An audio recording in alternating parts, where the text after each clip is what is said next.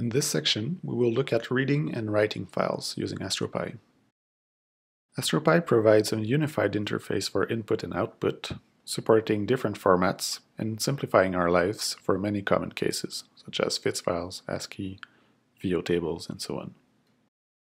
To start, let's look at the case of input and output of tabular data. Let's consider the case where you have tabular data saved in a common format, here a DAT file.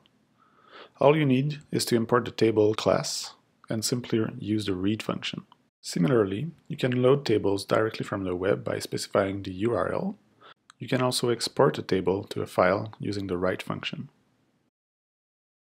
The I.O. package of AstroPy provides means to handle multiple different file formats, including images and tabular data.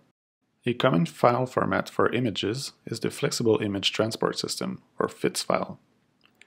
It is a portable file standard widely used in astronomy. The astropy.io.fits package provides access to FITS files. Loading a FITS files can be done Loading a FITS file can be done using the standard convention. A FITS file generally contains one or more header and data. Here we have an example of a FITS file containing four different HDUs.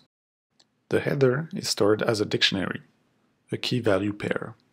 This way, you can access information about individual header cards, just like you would with a usual Python dictionary. This is useful to access information about the data, the dimensions, the units, and so on.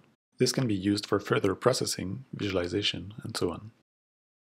Data is returned as a NumPy ND array. It can be accessed using the .data property. Once the data is loaded, we now have access to all the usual NumPy functionalities, such as shape and so on.